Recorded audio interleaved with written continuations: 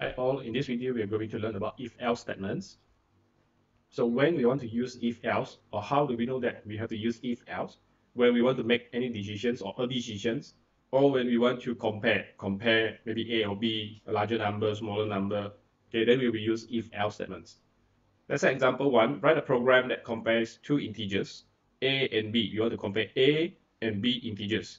So if A is greater than B, we display A is greater than B. Otherwise, we display B is greater than A. Very simple example. Huh? So in such a case, for the declarations part, we have to declare two integers. And in my case, I put 5 assigned to integer A, a variable A, and then 6 assigned to variable B.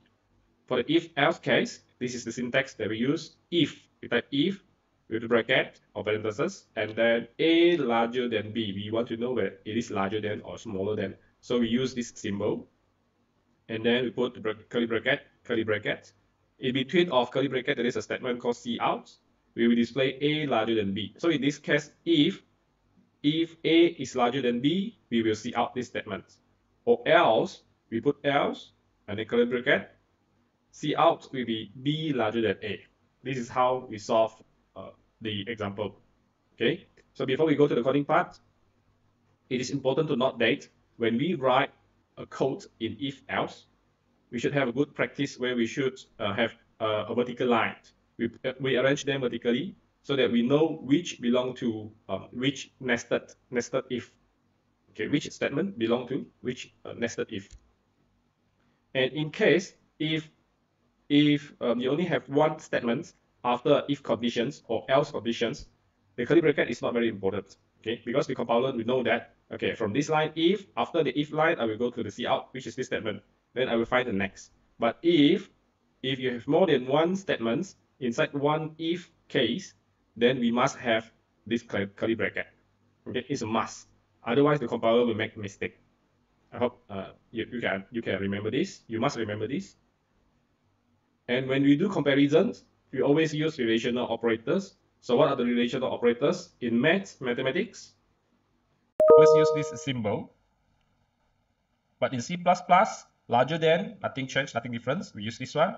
But for larger or equal to, we use this symbol, larger or equal to. And then smaller, smaller, less than or equal, which is this one.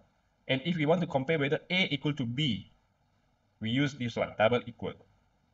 Okay. And if we want to compare whether A is not B, then we have to use this symbol, not symbol.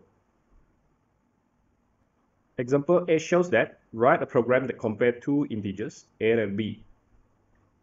What should we do? We declare a and b as integer and I initialize a and b variables as 4 and 6. If a is greater than b, if a is greater than b, what should we do? We display a is greater than b. This is the message we are going to display we are going to display. So we use cout. This is the message. And this part is not complete. If A is greater than B, if A is greater than B, then we cout. Otherwise, which means else, we display B is greater than A. We use out So we call it, right? Let's try. Compile and run. It shows that B is greater than A. Let's check. B is 6, A is 4. So B is greater than A. It's true. And then what if I change variable A is 10? Compile and run. Now it changed to A is greater than B. A is 10, B is 6. So A is greater than B. The second example said write a program to display grade A if marks larger or equal to 80, B if larger than 60, C more than or equal to 40, and then grade E if marks less than or equal to 40. So let's try with the programming. Back to the questions, write a program to display this one, grade A if marks larger than this and so on. But it didn't say we get input user, user inputs or we declare it. So to the task, we declare it. We declare input number as any number and then grade A if mark larger or equal to 80. So for this, we change to if statement. If mark, marks. So which means that we are going to use the marks variable. We replace the input num as marks larger than or equal, larger than or equal, we use this symbol, AP. Then what should we do? We will display grade A. See out, grade A. Or else, if grade B, if marks is larger or equal to 60. So you may have if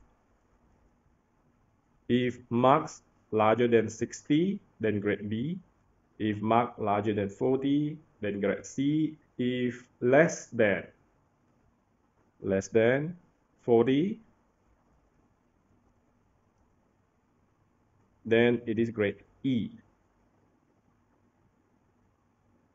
Okay, but in this case, we cannot just put if, if, if, and if. Why?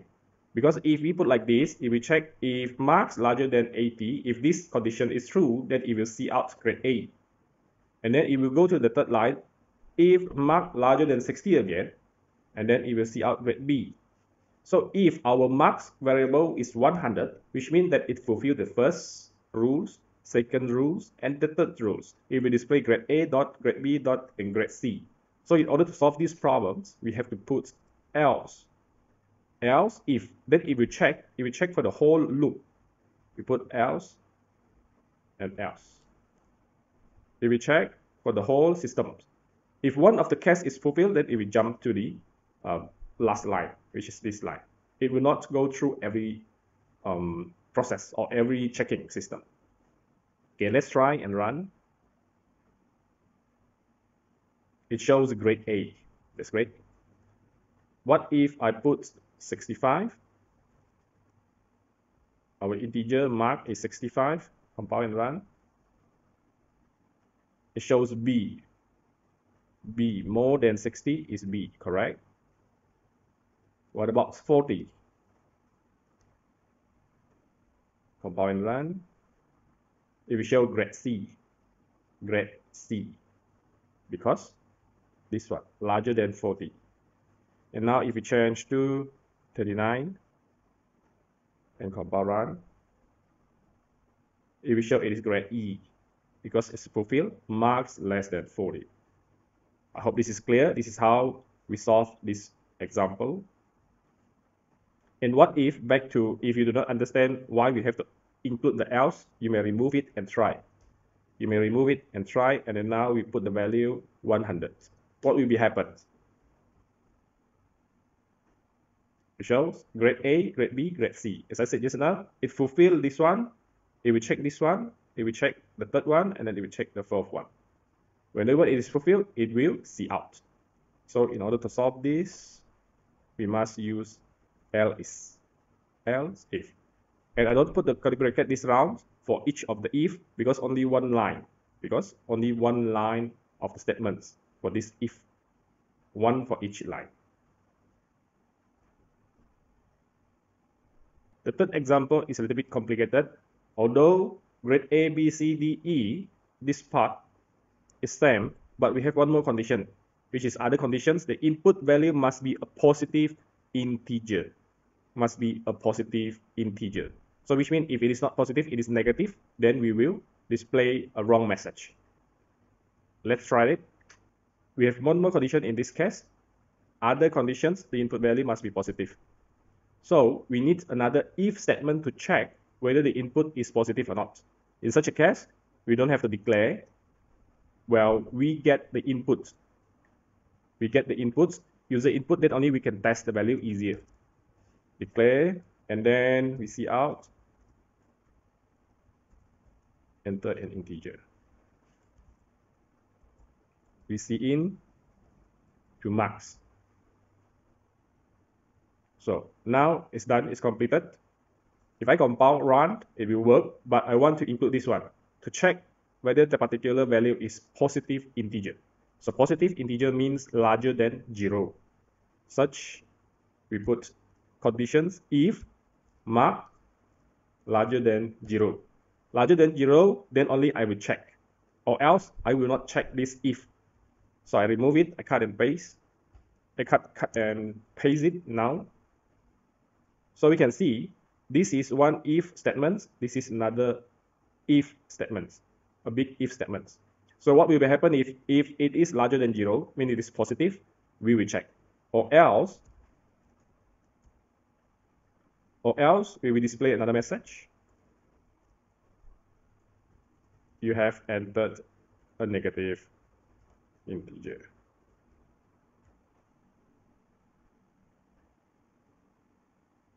Now let's try to compile and run the program. Enter an integer. So let's say if I enter 5, which is positive integer, it will show grade E. If we check, if we check it is larger than 0 or not, if it is yes, and then it will perform this checking, the second if statement.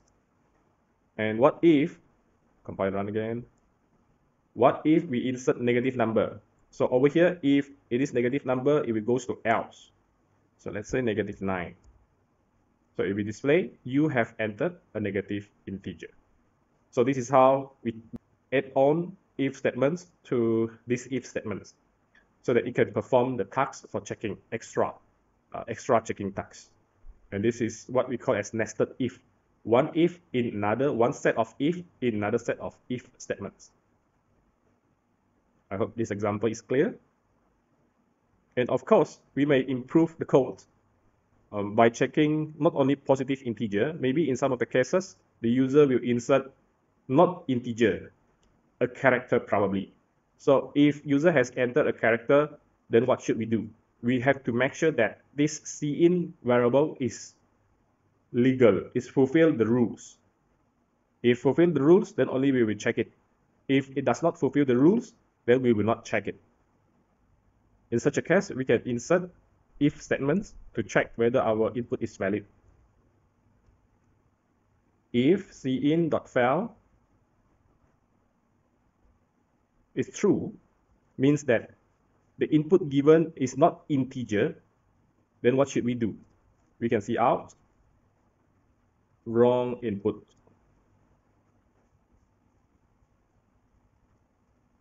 After that, we can insert return 1. The purpose of return 1 means that terminate the program. You don't have to do other works. Or else, or else means if the input is correct, then we will do the checking. So this part, up to this part, we can copy and paste it here. So end up, it will check, the system will check whether the, the input value is valid or not. If not, it will see out the message, or else it will do the checking. Let's try compile and run the program. Enter an integer. If I enter 10, it will show the results grade E. But if I enter something else, maybe I enter K as my input, or maybe like this, okay, a, a word, enter, it will say wrong inputs. So the cin.fail is to check whether the inputs failed to achieve the variable declarations. I hope you have enjoyed this exercise. Thank you very much for watching this video.